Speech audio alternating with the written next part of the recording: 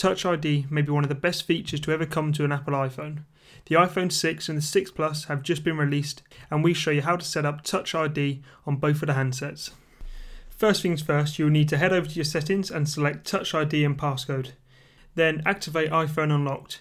You will then need to put either one of your fingers or thumbs on the home button for it to be registered.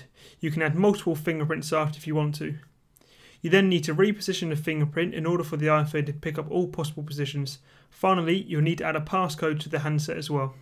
This has been a quick video on how to set up Touch ID on both the iPhone 6 and the iPhone 6 Plus. If this helped you out, then leave a thumbs up below and subscribe to the OneCom YouTube channel for more videos on the iPhone 6 and the iPhone 6 Plus.